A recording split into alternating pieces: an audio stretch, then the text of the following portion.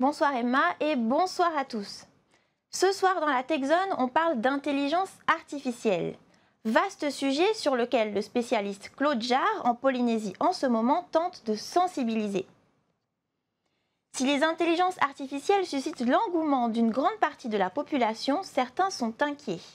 Parmi les préoccupations principales, les intelligences artificielles vont-elles voler nos emplois? Alors je dirais oui et non.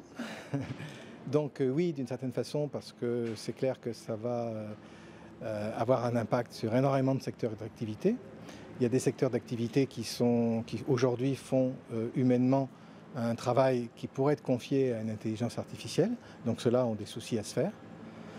D'un autre côté, je dirais non parce qu'il euh, y a une palette d'applications euh, considérable dans plein plein de domaines de, la société qui vont créer euh, de nouveaux besoins, de nouveaux emplois, peut-être pas exactement les, mêmes, et que de toute façon, j'espère qu'on aura la, sagesse dans les systèmes qui, qui contiennent une intelligence artificielle de garder l'homme dans la boucle. C'est un outil, il faut que ça reste un outil et qu'on apprenne à bien l'utiliser. ChatGPT, Midjourney ou encore DALI, les intelligences artificielles qualifiées de génératives créent chaque jour des millions de contenus. Problème, distinguer le vrai du faux va devenir de plus en plus compliqué. Surtout qu'avec ces intelligences artificielles, elles vont être capables de générer énormément d'informations euh, fausses.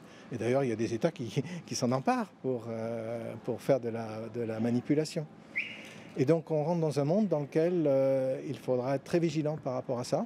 Par exemple, quand on, analyse un texte qui a été généré par ChatGPT, on peut avoir un certain nombre de réflexes pour voir si euh, est-ce que les sources ont été citées, détecter des incohérences, etc.